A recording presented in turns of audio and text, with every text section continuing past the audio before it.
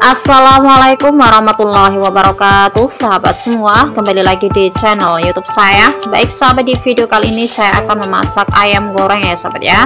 Jadi di sini saya sudah menyiapkan bahannya. Adapun untuk bumbunya di sini saya gunakan ya bawang putih. Apabila suka bawang merah bisa ya ditambahkan. Kemudian juga ada lada bubuk penyedap rasa garam. Apabila suka ketumbar bisa ya ditambahkan. Bisa juga kita tambahkan cabai ya sahabat ya. Oke bumbu sudah dihaluskan. Kemudian di sini saya juga sudah menyiapkan ya ayam potong. Jadi ini daging ayam potong ya yang sudah dicuci bersih. Kebetulan ini sudah saya rebus ya sahabat ya.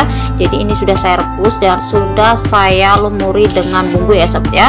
Jadi apabila kalian tidak ingin direbus dulu ayamnya juga boleh. Ya sahabat ya jadi misalkan sudah dipotong sudah dicuci bersih kemudian dilumuri dengan bumbu didiamkan ingin langsung goreng juga bisa ya sahabat ya.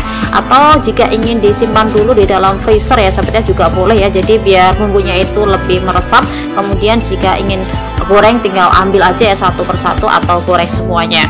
Baik langsung aja ya di sini saya akan goreng dulu ya ayamnya. Oke jadi di sini saya menggunakan minyak yang cukup ya jadi tidak terlalu banyak minyak ya karena saya tidak terlalu suka menggunakan minyak yang banyak karena ini memang untuk dimakan sendiri ya sahabat ya. Tapi kalau ingin hasilnya lebih cepat lebih bagus kita bisa menggunakan minyak goreng yang banyak ya sahabat ya.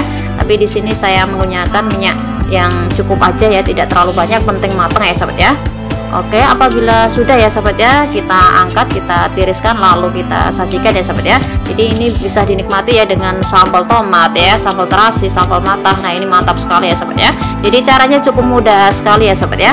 Baik sahabat demikian tadi ya sahabat ya. Sedikit dari saya. Semoga bermanfaat. Sekian dari saya. Wassalamualaikum warahmatullahi wabarakatuh